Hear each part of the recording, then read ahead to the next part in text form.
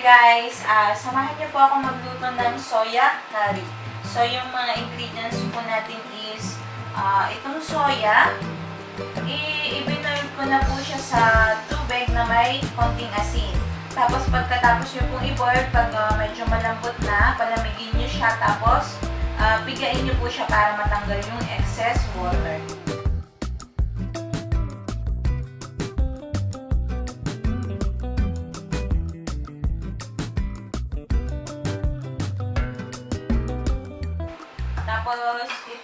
Patatas. ah, itong patatas is pinirito ko po para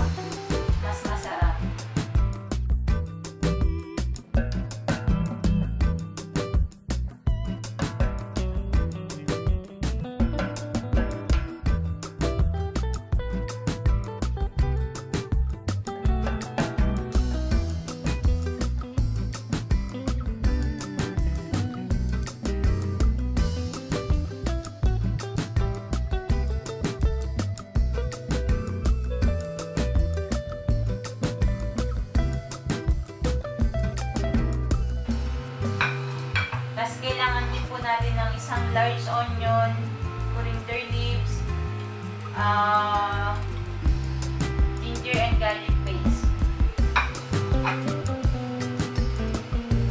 Red chili powder, coriander powder, turmeric powder, garam masala, asin, at ito pong ah, dalawang tomato. Nilagay ko lang siya sa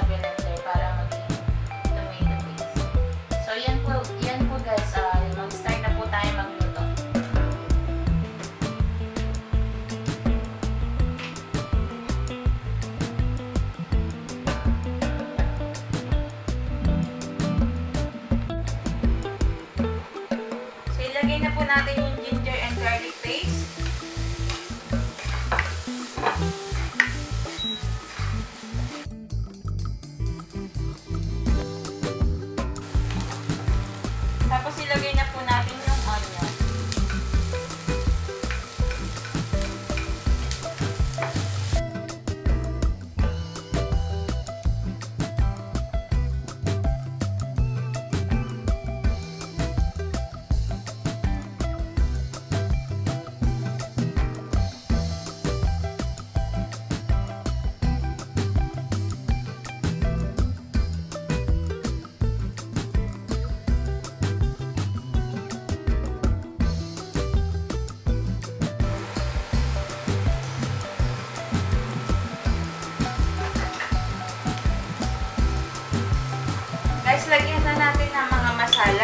natin ng isang teaspoon ng coriander powder. Teaspoon ng garam masala. 1 teaspoon ng uh, turmeric powder.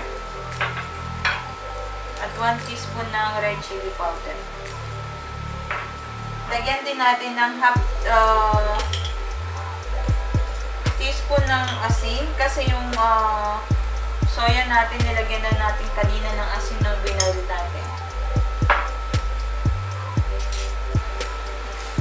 So, i-fry lang natin itong masala.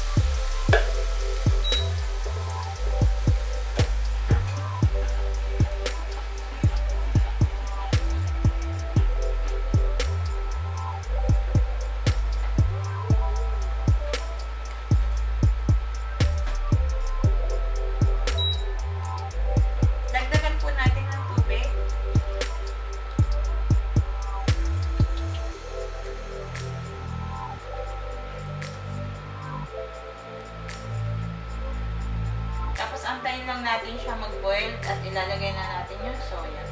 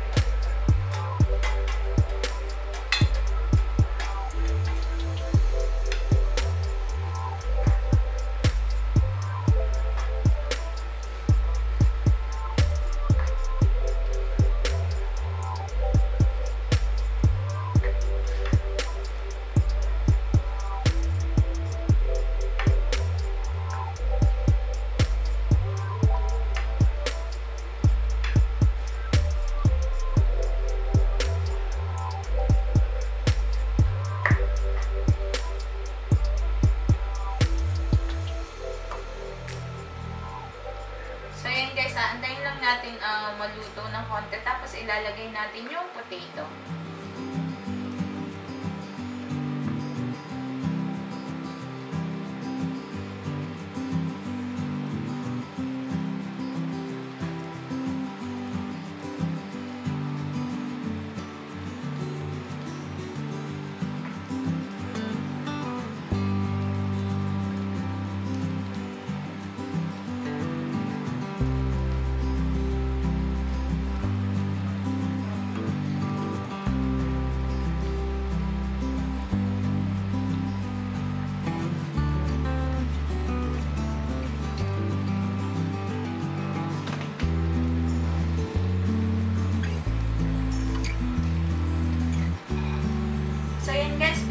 Natin ilagay yung potato na pinirito natin kanina kasi ah, medyo luto na itong soya. So ilagay na natin yung potato. So ako, ah, pag nagluluto ako ng curry, normally, kapag lalagyan ko ng patatas, ipiniprito ko yung patatas para hindi siya nadudurog pagka inihahalo mo sa curry.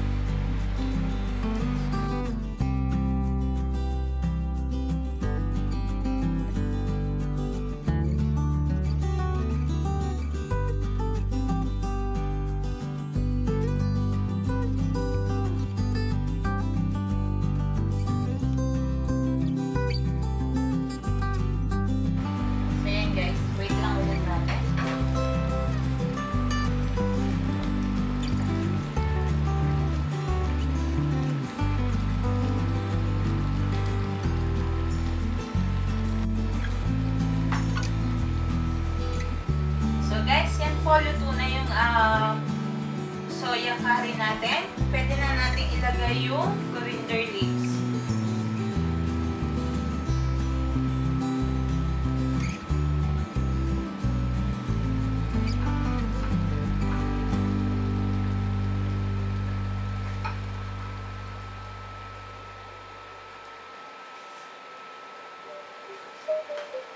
So yun po, i-mix lang natin.